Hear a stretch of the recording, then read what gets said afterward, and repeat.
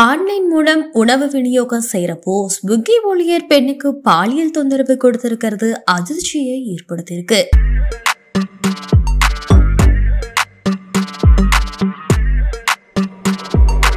சென்னை தேனாம்பேட்டையில வசிச்சுட்டு வரவங்க இருபத்தி நான்கு வயது பெண். நேற்று முன்தினம் மதியம் ஆன்லைன் செயலி மூலமா உணவு ஆர்டர் செஞ்சிருக்காங்க. அதன் பெயர்ல உணவு பார்சல் எடுத்துட்டு வந்த நபர் மேற்படி பெண்ணோட வீட்டுக்குள்ள வலுக்கட்டாயமா நுழைஞ்சு அவங்களுக்கு பாலியல் தொந்தரவு கொடுத்துட்டு தப்பி போயிட்டாரு.